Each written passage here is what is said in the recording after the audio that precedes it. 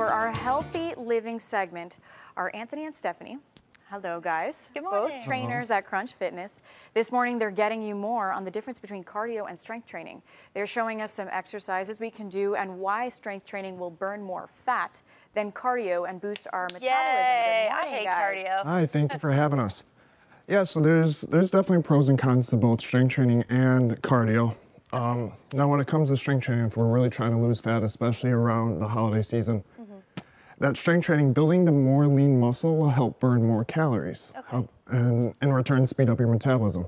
So essentially, if you're driving around in a Kia in a pickup truck, the truck's going to burn gas a little bit differently, more efficiently. Okay, okay, I see. So here we have a couple exercises. One, we're going to kind of combine and uh, increase that heart rate a little bit. We're going to do a squat jump.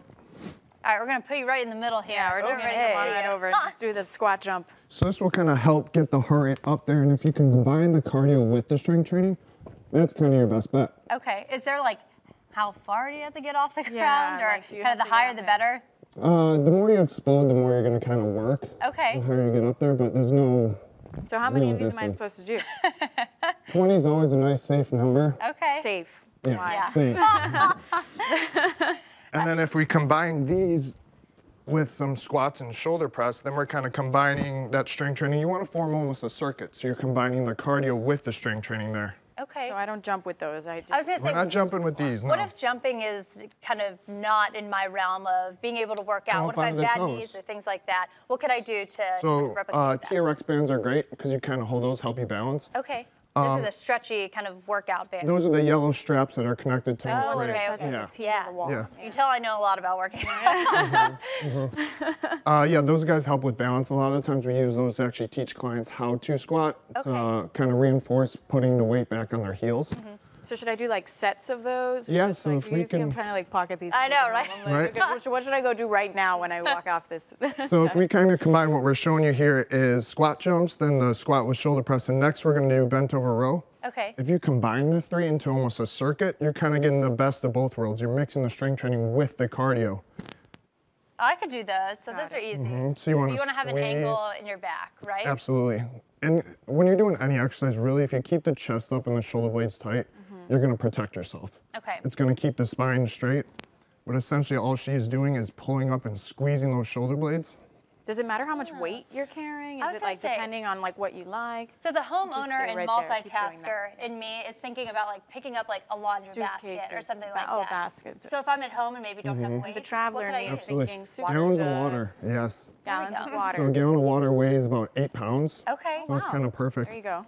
Um, what I like to tell all my clients is don't get so caught up on what weight you're choosing.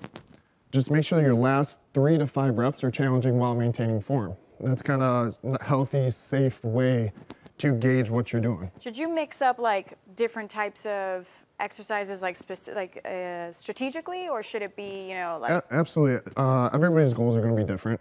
But, you know, I always like kind of combining some sort of heart rate exercise to get them really sweating, uh, combined with some sort of isolation exercise, and then some sort of stability too to really work the abs in there as well. Very Can you nice. show me one more? What else do you guys got? Uh, let's go ahead and do a plank. Oh wow, Putting her on the We're really ground. putting you Get on the the ringer. ground. So the key here is to really keep the back straight. A lot of the times you see clients, they'll put their butt up very tall in the air. Right. Okay. You want to avoid that. And then you want to engage the core. Um, just keep everything nice and tight. I got you, girl. You got that doesn't have- this. You're you doing can do it. And then again, any put an exercise Oreo. you can, any exercise you can modify. An to Oreo. Easier, harder, right? Donuts. I know. Donuts. Okay, you can you can get out of here. Yeah, It's- you're good, you're it's good. plank now. We're just like standing here staring at her like that is just impressive. So I guess uh, kind of bottom line. So what's really kind of the difference between I guess doing more of a cardio exercise between this? Is it kind of the uh, amount of fat you're burning, or Right. Am what's I wasting benefit? time on the treadmill, like running two miles? Like, what's the difference? So treadmill is great. There's definitely a time and a place for it. Mm-hmm. But when it comes to really trying to alter that body composition and burn fat, your body is burning that energy differently. When you're on the treadmill doing cardio, you're attacking your system a little bit differently than when you're doing the strength training. Hmm. The strength training, you're really getting the sugar, burning that. Sugar is basically fat. We kind of talked about that last week. Um, so when you're doing the strength training, you're increasing lean muscle. The more lean muscle you have, the more calories you burn at rest. So that's your car sitting in the driveway, running but not driving. You're still burning gas, So essentially, the more lean muscle you have, the more calories you burn, the faster metabolism gets. The easier you lose that fat. So it's obviously nice to do like a combination, but the strength training is like benefiting Absolutely. if you're trying to like lose fat. Yes, tighten fat. up, Right. Mm-hmm. firm, everything like that. combination with strength training and cardio is probably the best way to go because some people do need that cardio in order to lose Right. weight. Um, but the strength training will keep your metabolism stoked for like 48 hours after you do that workout. Oh, workout. wow. And so there's obviously many different types of cardio. Can you mm-hmm. maybe walk through a few of those?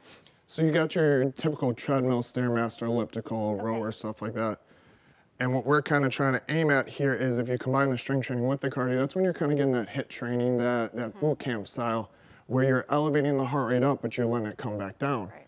Um, a lot of times when we just go and we run, you think about marathon runners, the heart rate gets up there and it stays up there. Mm. We, we like it to spike, drop, spike, drop. That way you're burning fat while sparing muscle. Right. Well, Yeah, that perfect was- for the holidays. Yeah, it's perfect for the hot and for post holidays too. So if you would like to get more fitness uh, tips and advance from these experts right here, you can visit Crunch Fitness, located in Fort Myers, Bonita Springs, and